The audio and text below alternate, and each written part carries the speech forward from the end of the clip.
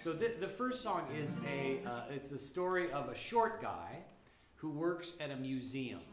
And at nighttime, when nobody's around, he puts on the coat that belonged to Napoleon Bonaparte.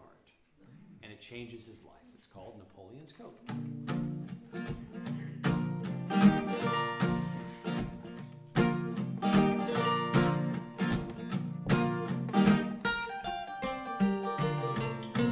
Joe Bob was a watchman at the Glen County Museum in Louisiana, the town of Lafayette.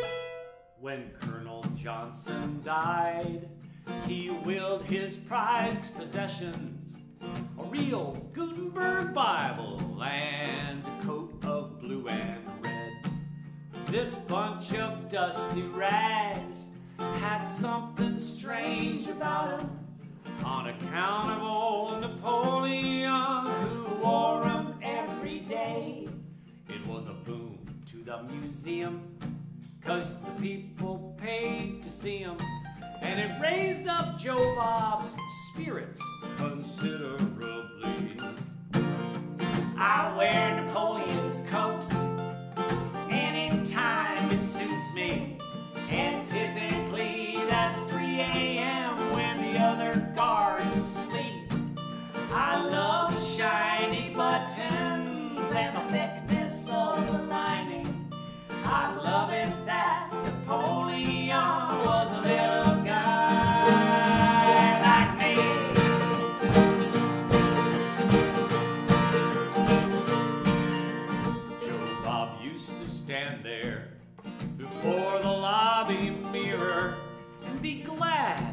Was short and wish he had a girl. He'd get fire in his eyes and feel something big within him.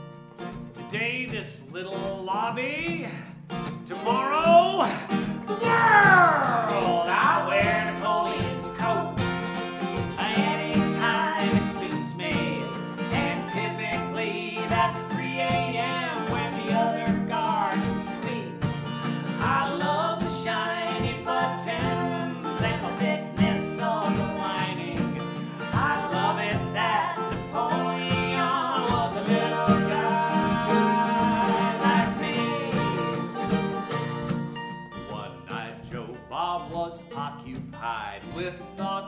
pillaging when he heard old Hoss had woken up and was down the hall from him.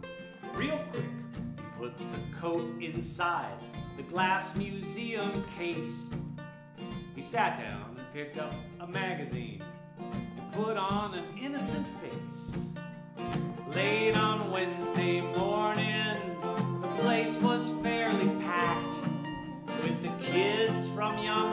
Johnson's history class.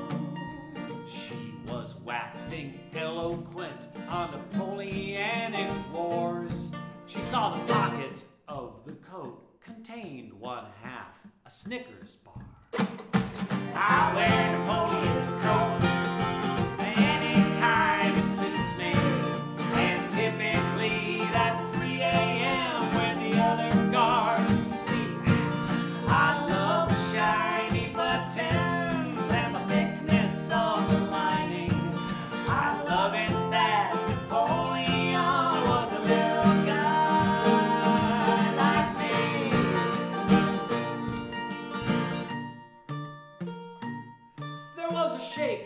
of the personnel at the Glen County Museum.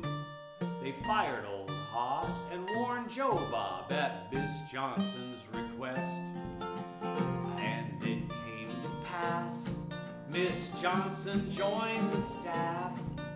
She ruled the place